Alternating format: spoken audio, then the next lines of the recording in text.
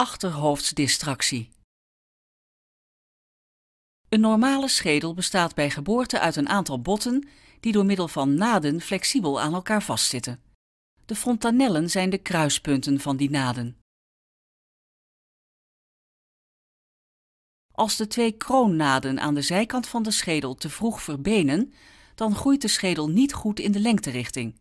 Als compensatie groeien de andere schedelnaden dan wel extra in de breedte.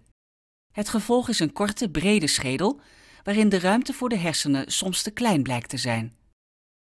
Het is daarom verstandig een schedelvergrotende operatie te doen. Die wordt bij deze kinderen rond de leeftijd van zes maanden uitgevoerd. Bij de operatie wordt een litteken gemaakt dat bovenlangs van oor tot oor loopt. Via die weg kan de chirurg bij de schedel komen. De gesloten naden en het bot van het achterhoofd worden losgemaakt, maar het bot blijft verder gewoon op zijn plek zitten. Het is dus in eerste instantie een zo beperkt mogelijke operatie. Om het schedelvolume gecontroleerd toe te laten nemen, worden er dan aan elke kant een aantal veren geplaatst.